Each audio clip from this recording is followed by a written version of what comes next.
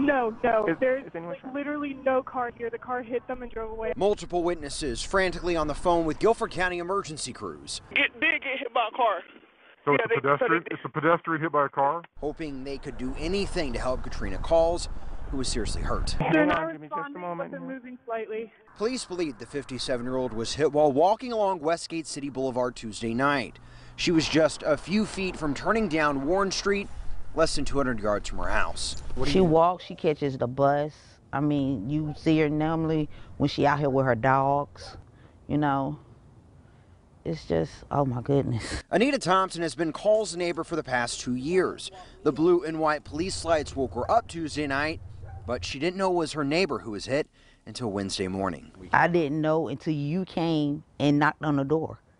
I knew there was an accident up there or whatever when I left to go to work this morning, but I didn't know it was her.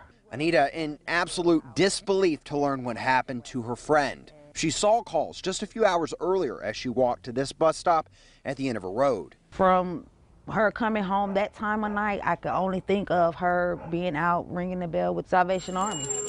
She's glad people stopped to help her neighbor, even if the driver didn't. What if she would have died behind this? You know? And whoever done it, just be, turn yourself in.